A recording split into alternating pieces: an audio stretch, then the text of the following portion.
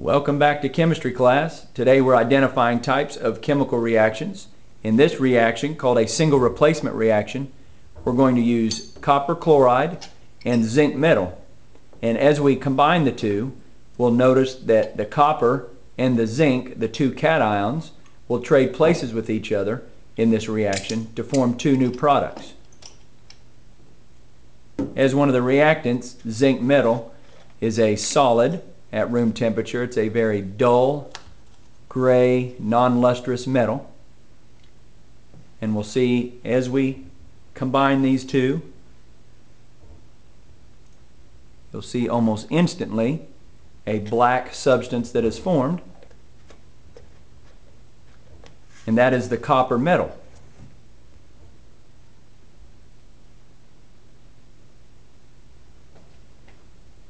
One way to look at this type of reaction is imagine uh, we have some people dancing on the dance floor. So we have Pete and Sarah are initially dancing with each other. Pete would be the copper, Sarah is the chlorine, Billy is the zinc by himself. After the reaction, however, the two cations, Billy and Pete, have switched places with each other, and now Billy is dancing with Sarah in the new compound zinc chloride, and Pete, which is the copper, the black substance that was formed in the products is standing by himself. We could also use this analogy when we talk about double replacement reactions. We'll see you next time.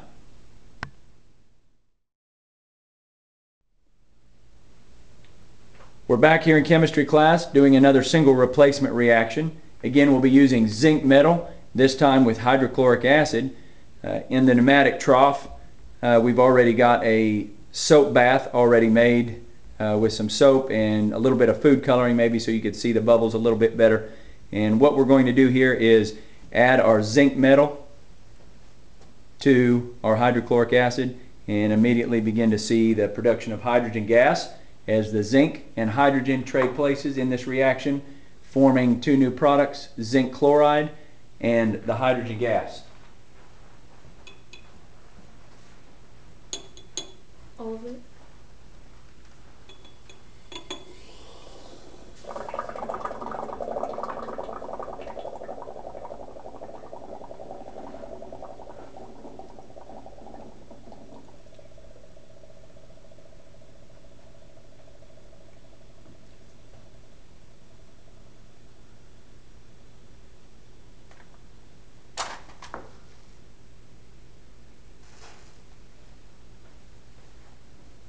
Let's test for the hydrogen gas. Wow.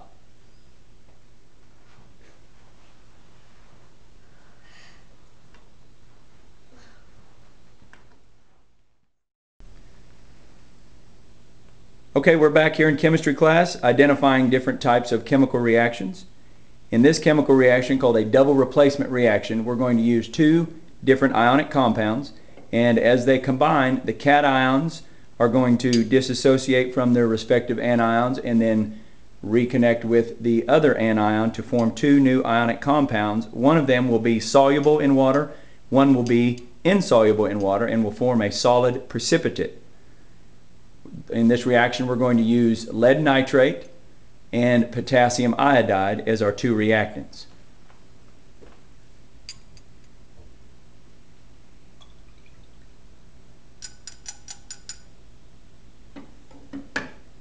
So you can see initially we started out with two uh, clear solutions, uh, aqueous solutions, and as they combined we created two new products. One, uh, potassium nitrate is an aqueous solution. The other is lead iodide, which is a solid uh, bright yellow precipitate. And if we let this settle for a while, we'll uh, notice that it begins to settle to the bottom. Uh, so one analogy we could use here is uh, two couples dancing on the dance floor as we've got diagrammed on the board. George and Sarah. George represented by the lead, Sarah is the nitrate. And in the other ionic compound, Pete is the potassium, Cindy is the iodine.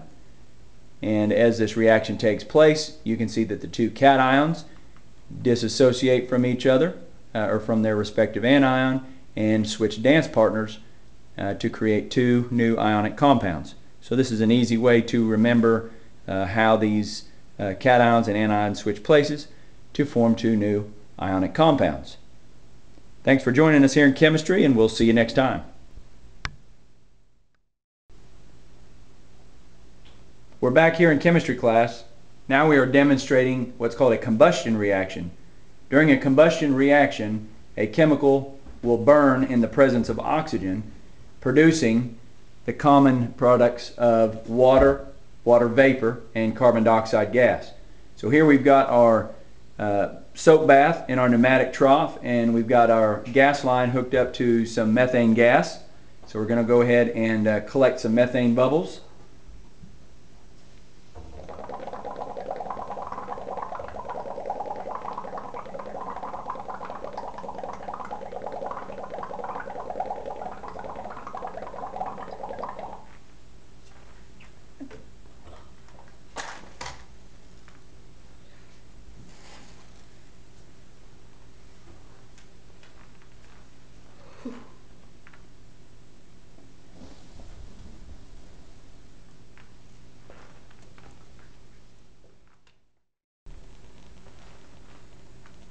Okay, here we are going to demonstrate what's called an oxidation reduction reaction. During this process, we say that one substance is oxidized or it loses electrons, and we say the other one is reduced or it gains electrons. So during this oxidation reduction reaction, electrons are transferred from one substance to another. To demonstrate this, Zachary is going to use magnesium metal, which is a very soft, uh, relatively reactive metal and we're going to uh, burn it in our burner and it's going to uh, react with the oxygen in the air to produce what's called magnesium oxide uh, after the transfer of electrons occurs.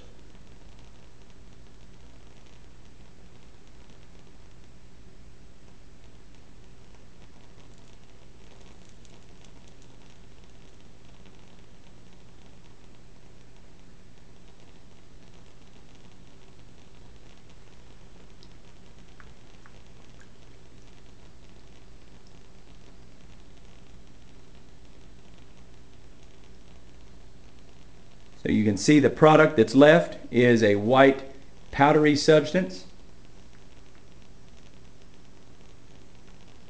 called magnesium oxide and that was after the oxidation reduction reaction took place. We're here in chemistry class identifying types of chemical reactions. This is a decomposition reaction in which ammonium dichromate will be broken down into some of its simpler components uh, nitrogen gas, water vapor, and that thing. Composition reaction, and we're going to use ammonium dichromate, and we are going to break it down into some of its simpler components, such as nitrogen gas, water vapor, and chromium 3 oxide. Uh, to do that, we're going to use some magnesium metal to get this kick started. And uh, once we do, you'll be able to identify uh, these products here.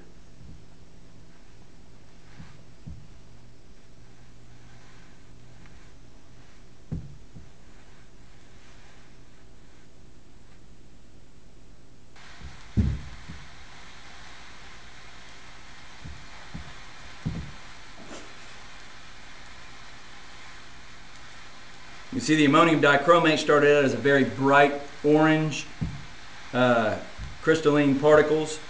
And now, as this decomposition reaction is taking place, the gas is being given off, indicates a chemical change, as well as the new product, chromium 3 oxide, and almost looks like a miniature volcano. There's the magnesium.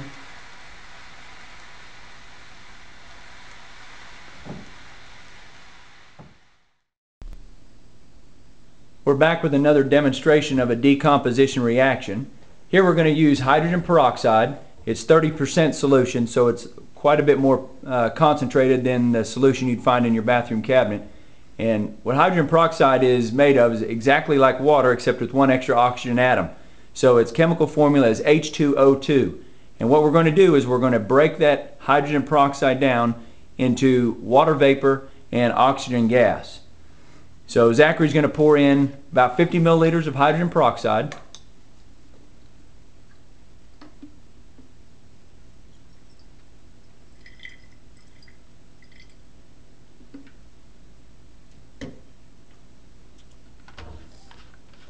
And to mix in this hydrogen peroxide, we're going to put in a little bit of soap and a little bit of food coloring. And this is just going to add a little bit of drama to the effect. The soap and the food coloring have no bearing at all on the chemical reaction itself.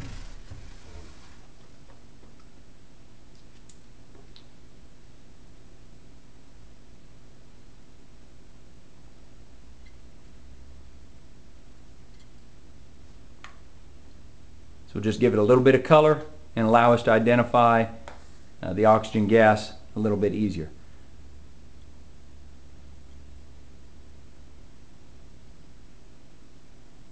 Now normally hydrogen peroxide is an unstable compound which means it'll over time break down by itself naturally but it's such a slow process that we don't visibly recognize this. So we're going to speed this process up by using what's called a catalyst. In this case the catalyst is going to be potassium iodide and so it's listed in the chemical reaction uh, over the yield sign as KI. So that's just going to indicate that the catalyst in this particular reaction is potassium iodide. Our bodies naturally have uh, enzymes in our digestive tract that help speed up or catalyze the processes in the digestion of food. So this catalyst will work in a similar fashion. So we're going to go ahead and add that potassium iodide.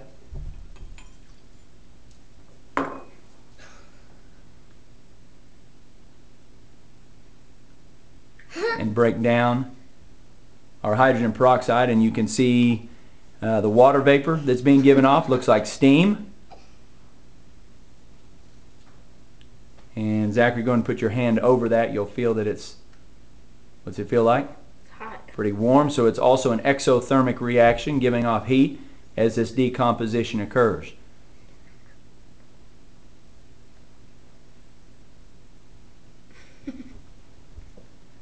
Thanks for joining us in chemistry class.